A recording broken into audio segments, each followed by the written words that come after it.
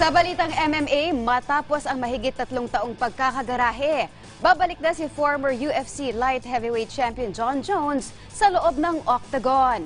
Noong linggo, kinumpirma ni UFC President Dana White na lumagda na si Jones sa isang bagong 8-fight contract.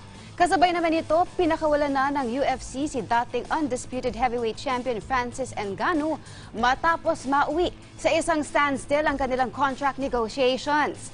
Dahil dyan, walang kampyon ng UFC heavyweight division sa kasalukuyan. Harapin ni Jones si French fighter Cyril Gane para sa nasabing titulo sa UFC 285 pay-per-view event sa Marso.